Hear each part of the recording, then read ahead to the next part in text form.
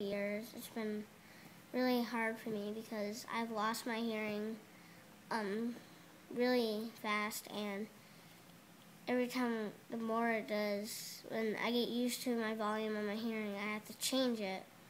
But it also feels like um, when somebody is saying something, they just say, "Ah, oh, never mind," and it frustrates me because I really want to know what they say, and um, it really bothers me when I can't hear what the teacher is saying during class because, like, she says something and then I do something, but then I get the whole thing wrong, so I have to start all over again.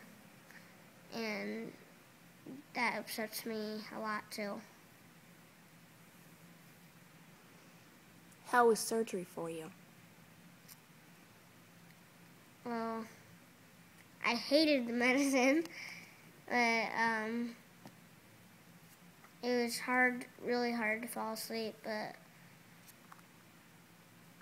when I realized I lost my tooth in the surgery when they took it out, um, I was like, why do I feel, why do I feel so different? and then my mom said that they pulled out my tooth, and I was like, is that a bruise? And I said, wait, what bruise? And she said, oh, that's when, when they pulled out your tooth. And I said, they pulled out my tooth? this is so surprising. I'm gonna put it under my pillow. which which tooth did they pull out? Um, this tooth. Yeah. You can hardly tell since I lost this tooth a week ago. I know, a week before the surgery. So, are you excited for Thursday? Yeah, yeah.